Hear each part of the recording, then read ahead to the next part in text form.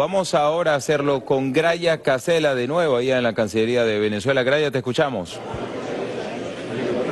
Bien, muchísimas gracias por el contacto. A esta hora lo hacemos desde la Casa Amarilla. Hacemos cobertura venezolana de televisión de este decimoquinto encuentro de la red de intelectuales, artistas y movimientos sociales en defensa de la humanidad. Acaba de terminar su ponencia el día de hoy el ministro para la Comunicación y la Información, Ernesto Villegas, justamente titula La revolución de la comunicación y las tácticas estratégicas. Nos gustaría pues conocer la importancia del evento el día de hoy, ministro. Bueno, estoy muy contento de haber compartido con este conjunto de prestigiosos intelectuales y artistas que se han reunido aquí en Caracas en el marco de las conmemoraciones por los cuatro años de la siembra del comandante Hugo Chávez y que han tenido a bien eh, poner sobre la mesa el debate sobre el tema de la comunicación. En lo particular, eh, nos toca muy de cerca este salto tecnológico que ha venido ocurriendo y está además bajo el escrutinio del mundo entero cómo hoy día la democracia eh, está amenazada en el mundo entero por la irrupción de nuevas tecnologías que permiten la realización de campañas imperceptibles eh, bajo el concepto de la psicometría y lo que han denominado el Big Data. Eh, ya hay bastante literatura que hemos podido, eh, digamos, acceder en los últimos tiempos aquí en Venezuela sobre fenómenos que se han dado en países del norte y que sin duda también están siendo aplicadas hoy día en nuestros países de América Latina. Es un desafío para todos los comunicadores y para quienes incluso se plantean hacer política en el mejor sentido de la palabra en el mundo pero particularmente en América Latina, eh, poder dominar esas herramientas, poder conocerlas y sobre todo un desafío para el ciudadano, para que él sepa que cuando está conectado a Internet y se mete en el Facebook o en el Instagram o en el Twitter y marca un me gusta, le está entregando a un gran poder información muy valiosa sobre sí mismo. Eh, hoy día las estrategias no solamente de mercadeo para las ventas, sino también para las campañas políticas, para las campañas de desinformación, eh, se basan en esa información muy valiosa que de respecto de nosotros mismos colocamos ingenuamente en ese mundo de la comunicación digital. La expansión de los medios ahorita y, como garantía de libertad de expresión también en el país, decía que en este proceso político actual se ve incrementado el número de medios eh, en Venezuela. Sí, cómo no.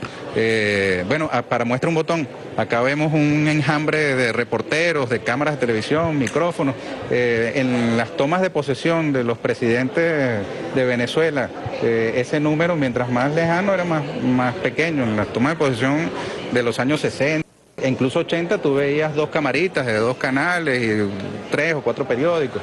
Hoy día en Venezuela el número es de más de 800 medios de comunicación.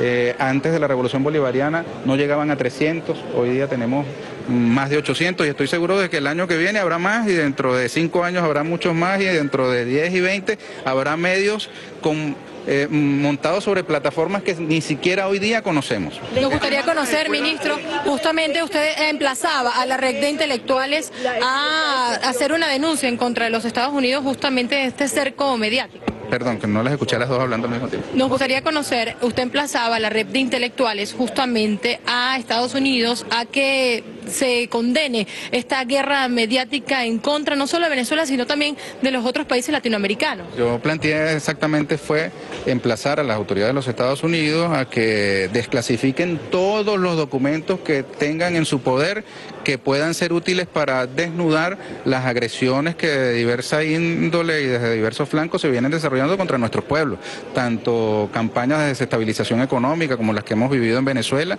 como movimientos por golpes de Estado, por derrocamientos de gobierno, que lamentablemente nos hemos acostumbrado a que pasan 5, 10, 15, 20 años y entonces se desclasifican y la gente entiende que una invasión a un país fue promovida eh, sobre la base de mentiras, como las armas de destrucción masiva que nunca existieron en Irak, o como el golpe contra Allende en el que eh, estuvo implicado eh, prácticamente todo el gobierno de los Estados Unidos y las principales transnacionales del momento, y que en aquel entonces los ciudadanos no tenían completo el panorama porque se los negaba esa prerrogativa de clasificación, de confidencialidad sobre esos documentos. De modo pues que eh, desde Estados Unidos y de cualquier país del mundo deberían desclasificar todos los documentos que puedan eh, esclarecer el origen de muchas de las convulsiones que el mundo actual vive, particularmente América Latina y Venezuela en lo particular. La significación que tiene la creación de más medios de comunicación sobre el derecho a la libertad de expresión y de opinión por parte de los ciudadanos, por un lado, y por el otro lado, usted durante su ponencia también habló sobre ataques que se hacen a la economía a través de campañas informativas. ¿Qué nos puede decir con respecto a eso? Sí, mira, lo mediático no lo es todo pero es al menos un, parámetro. Eh, indudablemente hoy día hay muchísimos más medios de comunicación en Venezuela de los que había cuando comenzó la revolución bolivariana. Y estoy seguro de que mañana, pasado mañana y dentro de cinco años y diez años habrá muchos más, incluso sobre plataformas que hoy desconocemos. Nadie podía imaginar hace diez años que podíamos informarnos y leer el periódico a través de un teléfono.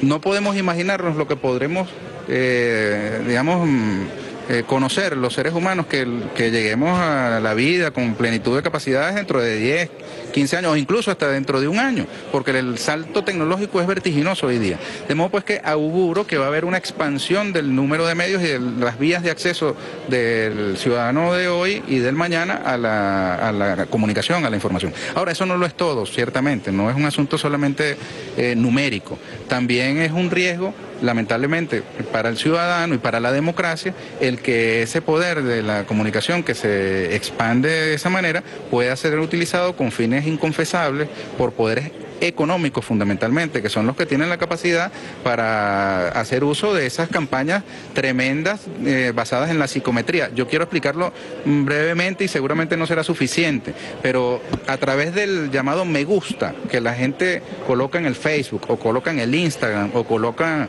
eh, en otras redes o de los gustos de sus datos personales que cuelga eh, en algún servicio de Internet, haciéndolo de manera, digamos, ingenua, sin darse cuenta de lo que hace. Está colocando al servicio de poderes que desconoce información muy valiosa, que le permite después a esos poderes eh, desarrollar campañas de desinformación que te llegan personalizadamente a ti. Y entonces tienes unas nuevas maneras de comunicar. Uno siente que cuando le habla a la televisión, por ejemplo, le está hablando a todo el país y no es cierto, no necesariamente es así. De pronto hay campañas que se desarrollan al margen de la televisión, que se desarrollan por la vía del Facebook. Abra usted eh, su Facebook o, su, eh, o haga una búsqueda en Google y verá que de pronto le aparece de primero un renglón que obedece a su uso frecuente de esa misma herramienta. Es decir, nosotros al utilizar las herramientas de comunicación digital, dejamos lo que se llama una huella digital, dejamos un pedazo de nosotros mismos. Y eso constituye hoy día un riesgo para la democracia, porque esa información que es muy valiosa, utilizada con fines aviesos, con fines perversos, puede lamentablemente causarle daño a los pueblos, causarle daño a los países. Y, e implica un desafío para todo el que haga política, para todo el que quiera hacer comunicación, porque ya hoy las formas de comunicarnos no son iguales a las que teníamos hace unos años. Hoy tenemos el desafío de llegar con nuestro mensaje hacia el ciudadano también por mecanismos similares, respetuosos por supuesto de la privacidad y de la y de los derechos del ciudadano a la, digamos a, su vida, a la, vida, a la vida en sociedad. Ministro, de se están planteando líneas estratégicas. Esta campaña mediática va dirigida a denigrar eh, no solo los procesos, no solo a nuestros pueblos, sino a nuestros principales paradigmas. Y Hollywood nos ha llenado de feas imágenes de nuestros héroes, de Pancho Villa y de otros tantos. Hoy también tratan de hacerlo con la memoria del presidente Hugo Chávez y de Fidel Castro. En este aniversario de la muerte del líder bolivariano, ¿cómo eh, nos estamos proponiendo? O sea, ¿cómo eh, Venezuela está eh, replanteándose enfrentar esta campaña mediática?